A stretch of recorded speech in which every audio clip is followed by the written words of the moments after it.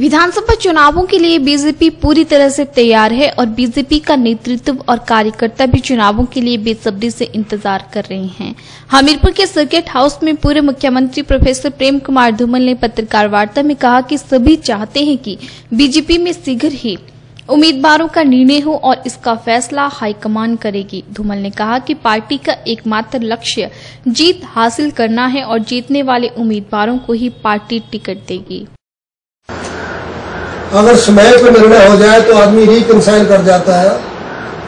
तो मान जाता है कि अब मेरे को नहीं टिकट मिला, इस बार नहीं, अगली बार मिल जाएगा तो जिसको मिला उसको जिताना है। अंतिम समय पे मैनेजमेंट करनी मुश्किल होती है। किसी को समझाना है, बिठाना है, इसमें दिक्कत होती है। इसलिए व्यक्तिगत तौर पे मैं चाहता हूँ कि टिकटें जल्दी अनाउंस हो जाए कैंडिडेट्स का पहले पता लग जाए। और सारा संगठन मिलकर पूरा क्षेत्र उसके लिए फिर काम करे। नहीं है। महिला हो चाहे युवा हो, पार्टी के सामने सबसे बड़ा लक्ष्य है जीत। विजय किसकी संभावित है? अगर कोई महिला जीत सकती है तो नेचुरली उसको टिकट देंगे। कोई युवा जीत सकता है तो उसको टिकट देंगे। और कोई अन्य उम्मीदवार जीत सकता है तो उसको टिकट इस बार इतिहास रचना चाहते हैं सिक्सटी प्लस का। साठ से ज़्यादा सीटें जीते। और प्रदेश में ऐसा माहौल कर दे, खड़ा कि कांग्रेस एक एक सीट के लिए तरस जाए।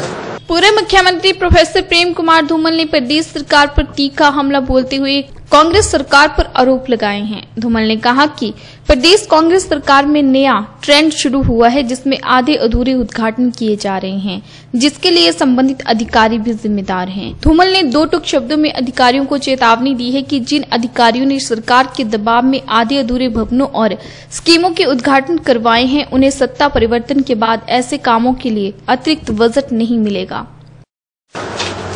किसी एक पुरानी योजना जो लाखों की होती है, उसका उद्घाटन होता है। और करोड़ों रुपए के नए शिलान्यास कर दिए जाते हैं। और खबर मीडिया को ये सूचित की जाती है कि इस विधानसभा क्षेत्र में करोड़ों रुपए का विकास कार्य लोकार्पित किए। क्योंकि छोटा सा उद्घाटन और बाकी बिना बजट प्रावधान जो ट्रेंड आ रहा है, जिसके बारे में मैं अधिकारियों को भी चेतावनी देना चाहूँगा। कुछ अधूरी योजनाओं का उद्घाटन किया जा रहा है। अधूरे भवन जो पूरी तरह तैयार नहीं है, जहाँ कोई फर्नीचर नहीं है, जहाँ कोई बिजली पानी का कनेक्शन नहीं है, जो अधिकारी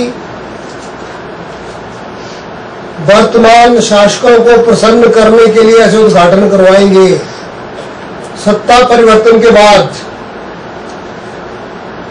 उन अधिकारियों को ही वो पूरे करने पड़ेंगे। हम कोई अतिरिक्त बजट उसके लिए नहीं देंगे। बीजेपी विधायकों पर लग रहे मारपीट के आरोपों पर धूमल ने कहा कि इन मामलों की पूरी जानकारी नहीं है, लेकिन फिर भी पुलिस की कार्यप्रणाली सवालों के घेरे में है। धूमल ने कहा कि फजूल की सारी बातें हैं, क्योंकि पीएम मोदी का पुतला जलाना कहाँ अच्छी बात है, तब तो पुलिस नहीं रोकती है।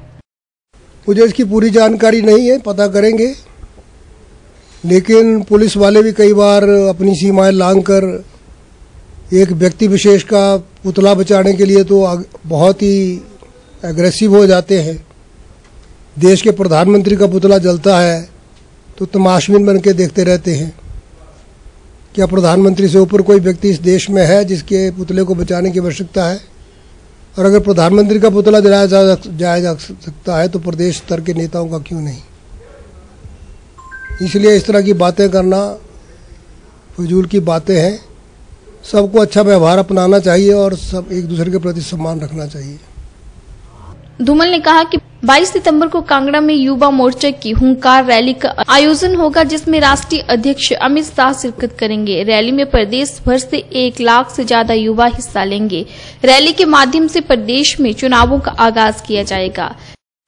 22 सितंबर को हिमाचल प्रदेश भारतीय जनता पार्टी का युवा विंग, युवा मोर्चा एक हुंकार रैली कांगड़ा के मैदान में कर रही है।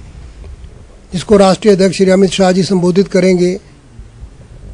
और प्रदेश भर से जिस तरह का लोगों का जोश है और जैसे युवा आ रहे हैं, हमें लगता है एक लाख से ज़्यादा युवा उस रैली में भाग लेंगे और उनसे प्रेरित होकर फिर चुनाव के मैदान में डट जाएँगे और भारतीय जनता पार्टी की जीत सुनिश्चित करेंगे।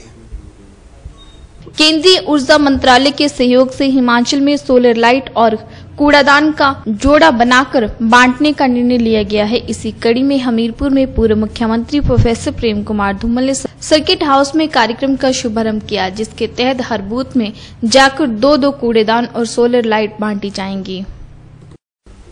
केंद्रीय ऊर्जा मंत्रालय के अंडर जो पब्लिक सेक्टर अंडरटेकिंग्स है, उनकी कारपोरेट सोशल रिस्पॉन्सिबिलिटी सीएसआर के तहत हिमाचल में सोलर लाइट्स और डस्टबिन्स दो दो डस्टबिन्स का, का जोड़ा बनाकर बांटने का निर्णय लिया गया है। उन पब्लिक सेक्टर कंपनीज़ की तरफ़ से निवेदन था कि इसका शुभारंभ आज कर दिया जाए ताकि वो फिर जहाँ जहाँ उनको लगानी है लाइट्स तो लाइट लगा सकें और जहाँ जहाँ आवश्यकता डस्टबिन्स की होगी वहाँ डस्टबिन्स भी लग जाए। ये उसी का शुभारंभ था।